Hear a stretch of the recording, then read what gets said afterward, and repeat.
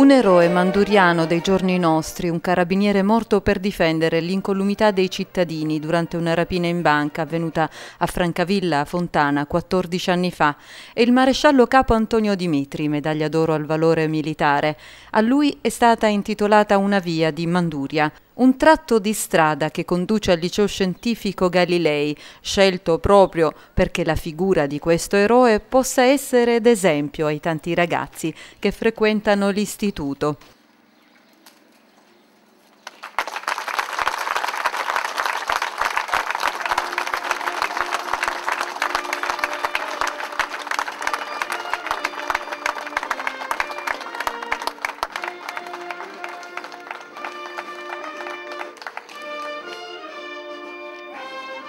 È stata una cerimonia sobria che si è tenuta alla presenza delle istituzioni locali del generale di brigata Claudio Vincelli, comandante della Legione della Puglia dei Carabinieri, del colonnello Daniele Sirimarco, comandante provinciale dei Carabinieri, oltre che dei genitori del maresciallo Antonio Dimitri, il papà Florenzo e la mamma Lucia Pisconti, e dei genitori del maresciallo dei Carabinieri di Bisceglie, Carlo De Trizio, una delle vittime dell'attentato di Nassiria prima che fosse scoperta la targa che intitola la via, è stato riassunto il breve ma intenso servizio che Toni, come era amichevolmente chiamato da tutti, ha svolto durante la sua vita.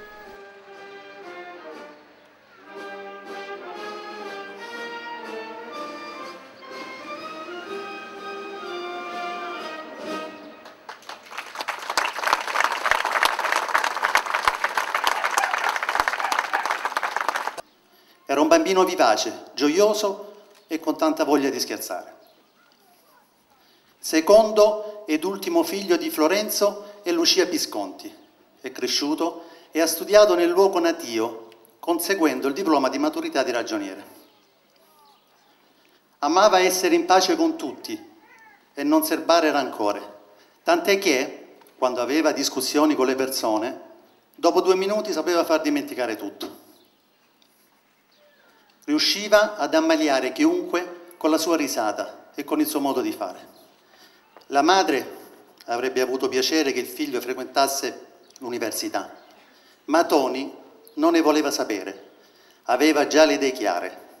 Seguendo le orme e l'esempio paterno e fraterno, Tony, lui stesso pervaso da un forte senso di giustizia, nel 1985 decide di intraprendere la carriera militare. Partecipa ad un concorso per allievi sottufficiali che da bando prevedeva 2.000 posti. È partito così l'anno successivo per il 39 corso, tenutosi il primo anno a Velletri e il secondo anno a Firenze. Nel 1988, con il grado di vice brigadiere, è stato destinato alla stazione Parrocchetta, quartiere Magliana. Qui si è distinto immediatamente per le sue qualità Infatti è stato trasferito nel 1990 al nucleo operativo dell'Euro.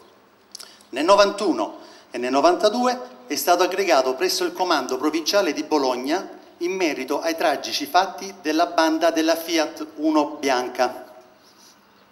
Nel 1994 è stato trasferito al CIS Viaggiare Informati della RAI. Qui si è sentito in gabbia. Lui ha amato e ha sempre voluto essere in un reparto operativo. I suoi cari gli hanno più volte sottolineato il rischio di lavorare in una realtà del genere. Tony però non ha voluto saperne. Ha sempre risposto di aver scelto di essere carabiniere non solo per il desiderio e l'onore di indossare uniforme, ma anche perché ce l'aveva con i malviventi e voleva difendere chi ingiustamente subiva torti. È per questa ragione che nel 99 ha chiesto e ottenuto di partecipare all'operazione Primavera in Puglia, dove è stato poi trasferito al reparto operativo di Brindisi. A tal fine ha svolto un corso addestrativo in Israele per apprendere l'uso di apparecchiature tecnologiche, fra le quali un visore ad infrarossi gli sarebbe stato utile per la sua successiva avventura nella lotta al contrabbando. Ed ecco che dopo il tragico evento del 14 luglio del 2000 a Francavilla Fontana diventa doveroso il ricordo.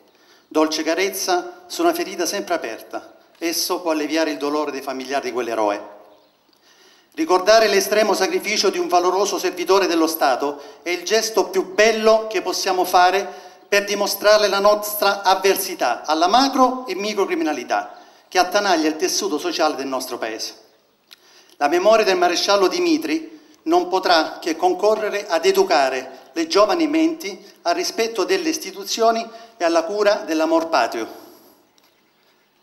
E con il ricordo che anche le persone non ancora al corrente del sacrificio del maresciallo Dimitri possono rendere onore a lui, a quell'umile carabiniere che non voleva uno Stato forte contro i deboli e debole contro i forti, a quel carabiniere sempre dalla parte dei più deboli, degli indifesi. Onore a Toni, onore a quel valido carabiniere.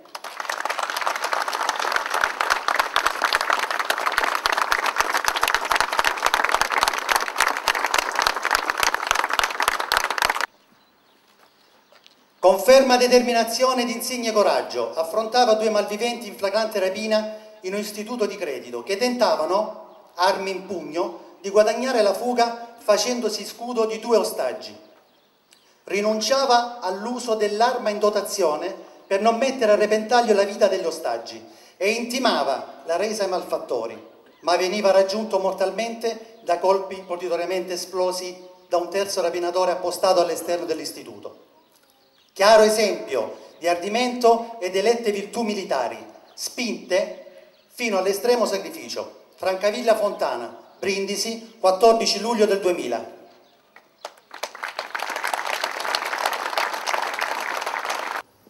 È per me momento di grande commozione, senza dubbio il più intenso da quando mi onoro di ricoprire la carica di sindaco di Manduria, poter finalmente suggellare con un gesto concreto l'eterno vincolo di affetto, gratitudine e rimpianto che lega e per sempre legherà Antonio, il maresciallo Antonio Dimitri alla sua città.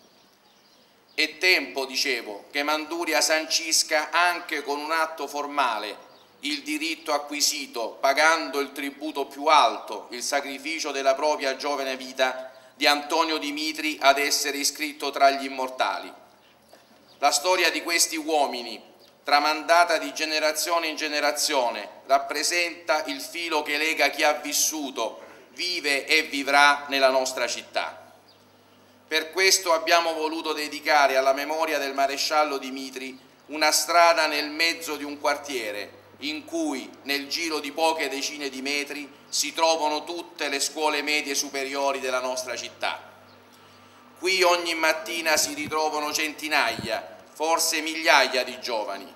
Qui si forma la classe dirigente del futuro ed è qui che ogni giorno almeno una ragazza e un ragazzo si chiederà tra 10, 20, 50 anni chi fosse Antonio Dimitri e cosa avesse fatto affinché il suo nome venisse impresso su questa targa e perciò stesso ricordato per sempre, anche quando chi ha vissuto la sua epoca non ci sarà più. È una presa di possesso di un patrimonio che non appartiene più alle istituzioni formali, ma appartiene al popolo, l'arma dei carabinieri. E con essa i suoi uomini e soprattutto i suoi caduti. Non c'è stata in quest'anno una manifestazione a cui io abbia partecipato dove non ho visto una presenza di cittadini istituzioni, i nostri amici dell'arma in congedo, i nostri amici delle forze armate, delle forze di polizia.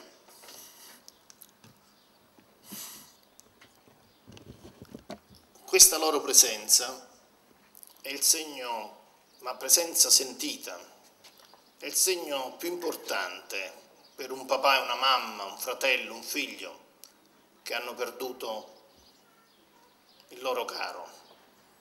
L'hanno perduto solo materialmente perché quel loro caro oramai sopravvive, sopravvive nella storia, è un eroe che non, non terminerà più.